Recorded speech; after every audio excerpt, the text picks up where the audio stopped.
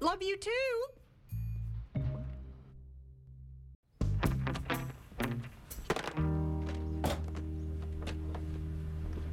Don't you have Die Hard? Not anymore. Why? It had that bad word in it. What? Yippee ki yay, etc. This store sucks. We know. Maybe you'd like the singing nun. Nope. Has anybody ever rented the singing nun? Just Pastor Jeff. That figures. Wait a minute. You can see all the movies that Pastor Jeff ever rented? You can see any movie everyone's rented. Well, let's just see if he's as pious as he pretends to be. Let's find out. Ugh.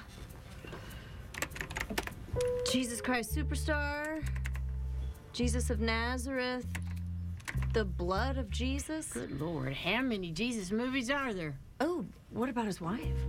Oh. Show me, show me. Hello, Pastor Jeff. Hey there, Connie. What brings you by? I just wanted to drop off a little gift. Dirty Dancing? I think you know how I feel about this movie.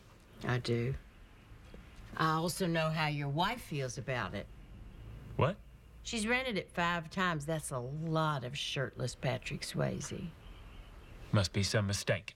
There isn't. Shall we talk about Fatal Attraction? Do we have to? Six times.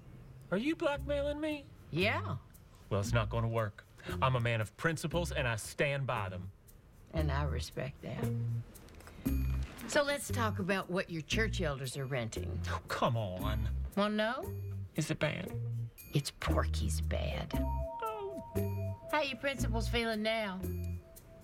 I'm going to end this story so you don't have to see a grown man beg for mercy. Connie, please,